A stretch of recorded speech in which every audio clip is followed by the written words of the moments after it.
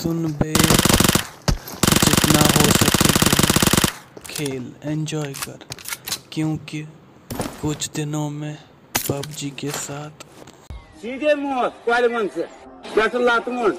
से।